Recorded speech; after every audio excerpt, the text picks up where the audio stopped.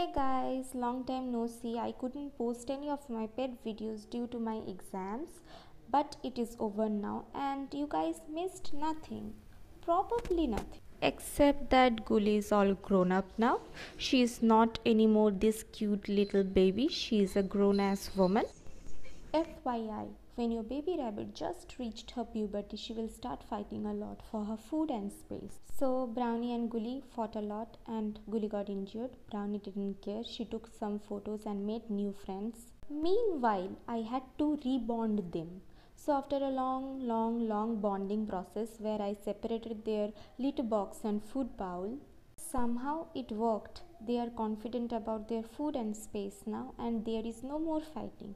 So if you guys want to know what tips and tricks worked for me for bonding my rabbits please comment down below